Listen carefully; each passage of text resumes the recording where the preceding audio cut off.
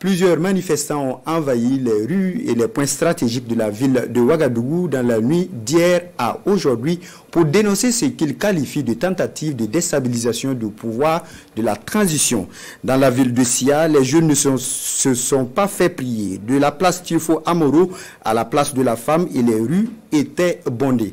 La population s'est aussi mobilisée pour dire non à la tentative de déstabilisation annoncée. Maneka Yen Ismaël Saturnin, Paris.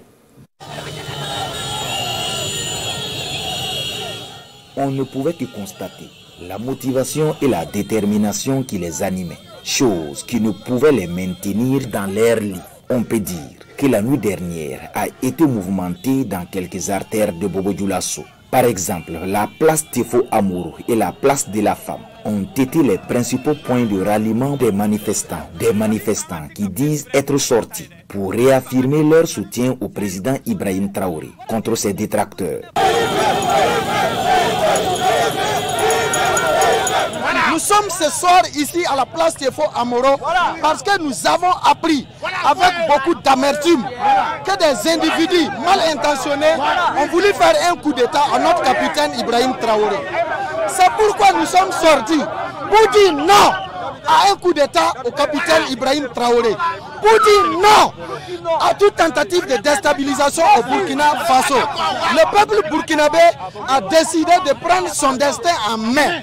Et nous avons l'œil ouvert. Nous sommes en veille pour que toute personne qui va tenter de déstabiliser ou de mettre le feu à ce pays verra le peuple en face de lui. Ibé, c'est le Burkina Faso, c'est le peuple, c'est la jeunesse concerne qui a choisi Ibé.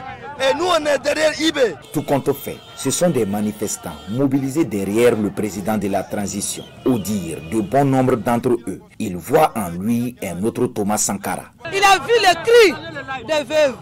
Il a entendu les cris de la jeunesse. Nous, on est déterminés à prendre même des armes contre les ennemis du Burkina. Parce qu'Ibrahim Traoré, il est venu pour essuyer les larmes. Selon ces manifestants, pas question de lâcher le président Ibrahim Traoré, qui porte en lui les espoirs de tout un peuple.